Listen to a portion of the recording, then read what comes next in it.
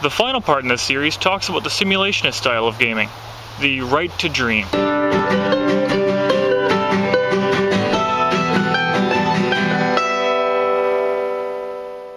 The idea of simulation is rather core to gaming.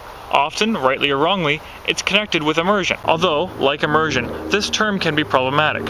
Simulation can mean different things in different mediums, but for role playing games, it does seem to refer to the consistent shared imagined space of the game. In his essay, Ron Edwards says that simulation style of play heightens and focuses exploration as a priority of play.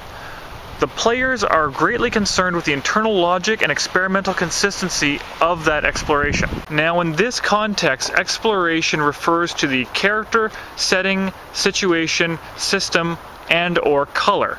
And of this style of play, this one tends to be the one where players are very concerned with internal consistency. While many different styles of gaming will focus on that shared imagined experience, the simulationist is unique in a couple of different ways.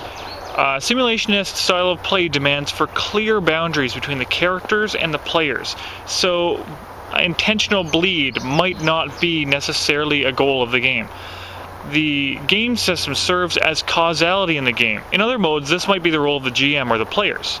And there is a minimization of metagame in a lot of different styles of simulationist gaming. So, how is this accomplished?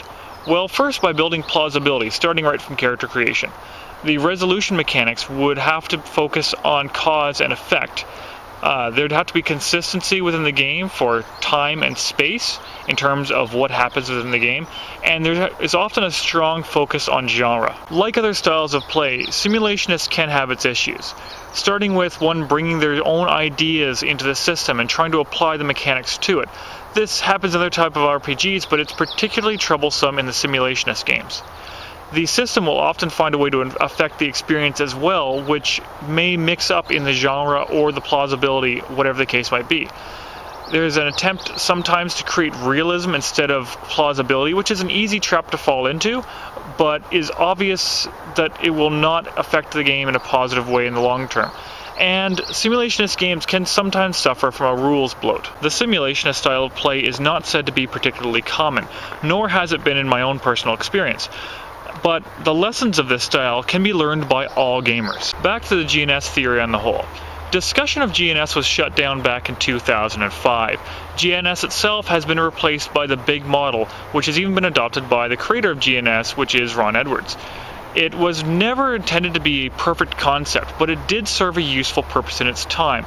Many great ideas and thoughts came out of it, and our understanding of the games we play has moved forward in leaps and bounds as a result of this different way of thinking.